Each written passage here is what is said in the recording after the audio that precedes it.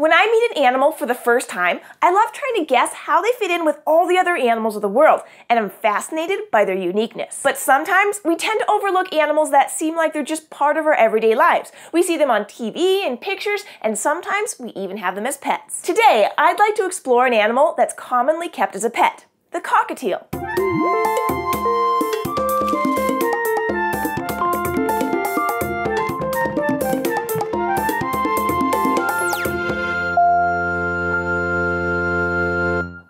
Cockatiel? Where do they come from? And how do we take proper care of them in captivity? Well, this is a cockatiel, but to really get to know what they are, let's break it down by taxonomy. Kingdom Animalia, phylum Chordata because they're animals with backbones. Class Aves because they're birds, meaning they're covered in feathers, toothless beak, four-chambered heart, and laying hard-shelled eggs. Order Psittaciformes, better known as parrots. They feature a hard curved beak, an upright stance, and zygodactyl feet, or two toes in the front and two toes in the back. Family Cacatuidae. This group consists of 21 species that are mainly found in Australasia. Their distinguishing feature is the crest of long feathers on top of their head. Genus Nymphicus, species Hollandicus. They are the only species in this genus and are rather distinct from the other species in the family Cacatuidae. They're the smallest, and in the Cacatuidae family, they're the most commonly kept as pets. They're so common that they're the second most popular pet of all parrot-type birds, coming in just behind the budgerigar from the family Psittaculidae. It's interesting that they're so common, but relatively little is known about their origin. From recent molecular studies, we've confirmed that they do have the same ancestors as cockatoos,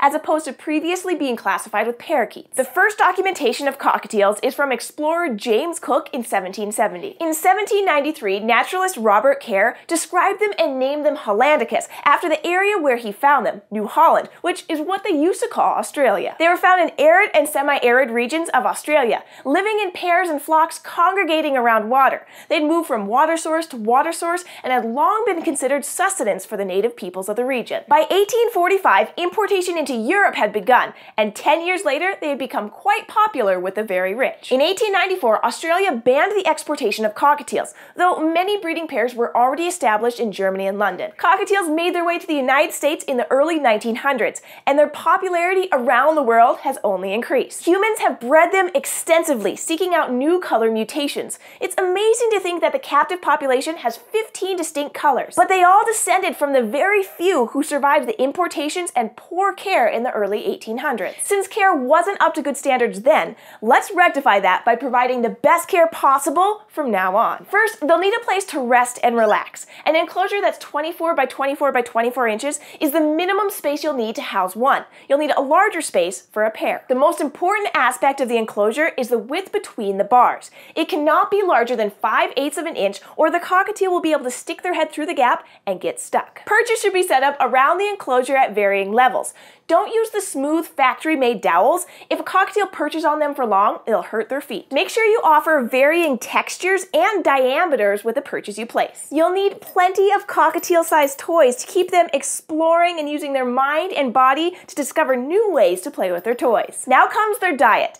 It's important to remember that while cockatiels do eat seeds in the wild, they also eat fresh fruits and vegetables, flowers, leaves, bark, and occasionally an insect or two. Cockatiels in captivity need more than just seeds to fulfill their nutritional needs. Offer them good quality parrot pellets along with fresh produce like carrots, zucchini, broccoli, apples, or bananas. There's a long list of safe foods to feed parrots, cockatiels included, in the description below. Cockatiels spend a good amount of time foraging on the ground, so placing a food dish on the side of the enclosure as well as one on the bottom is a great way to encourage them to move around. Fresh water should be offered at all times. In the wild, cockatiels form monogamous pairs, so providing companionship is essential to their well-being. A human companion can provide good company as long as they spend quite a bit of time every day interacting with their feathered friend. If you're thinking about having a cockatiel as a pet, make sure you do extensive research on their behavior and care before taking one into your home. One thing that many people overlook is the amount of dander that cockatiels produce. Their underlayer feathers are called powder down feathers.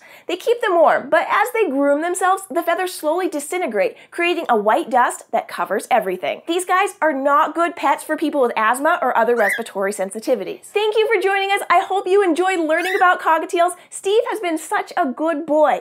If you'd like to go on an adventure with us every week, subscribe to our YouTube channel, Animal Wonders Montana. If you have any questions for me or Steve, leave them in the comments below. Thanks, and we'll see you next week.